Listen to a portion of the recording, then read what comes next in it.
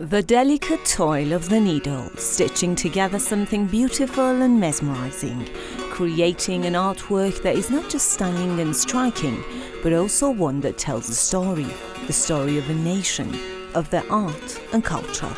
A story that will be retold again and again for all of eternity. This is the art of Malile Douzi. This delicate artwork needs a lot of patience and precision. Sometimes it takes days or even weeks for a work like this to be completed. But in today's modern and busy lifestyle, there are still people who love to learn more about the rich history of this art and create works that are inspired by many and many years of rich culture, history, art, and civilization.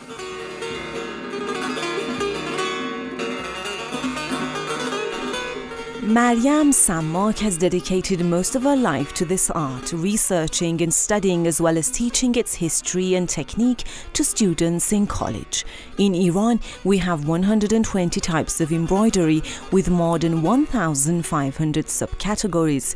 Malile Douzi, otherwise known as Sermeh Doozi, is just one of them. من سعی کردم این هنر رو به نحوی اشاره بدم در قبلا هنرستان که تدریس می‌کردم الان دانشگاه.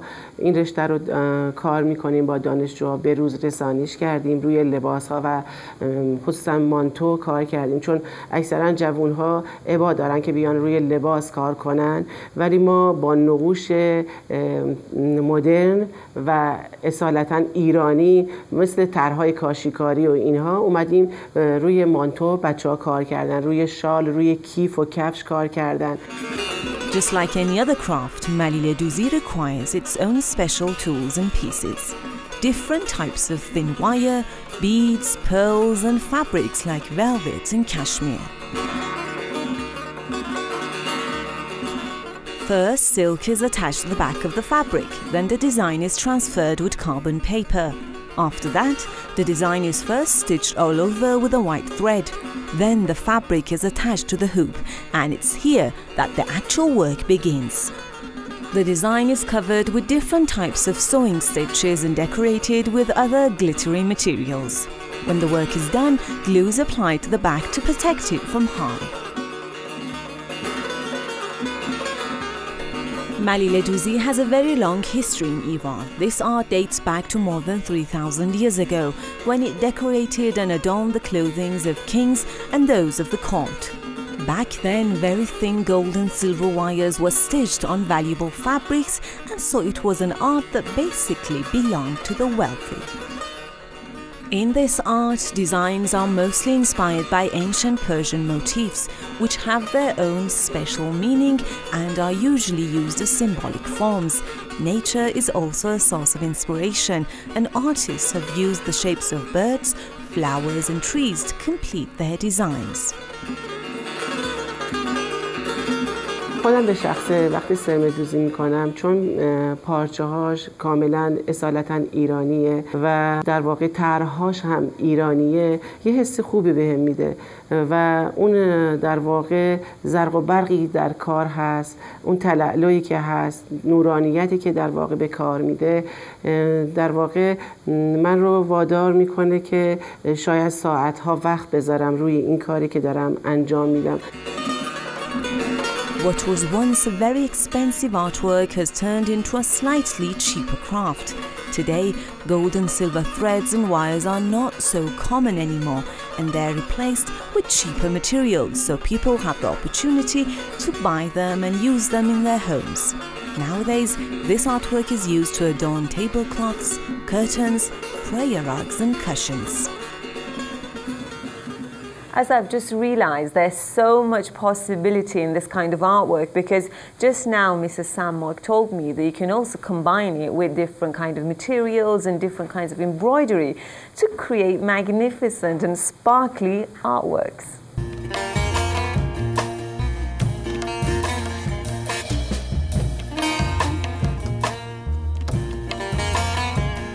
Shaheen Ibrahimzadeh Pezeshki is an artist who has done everything she can to save this art from extinction.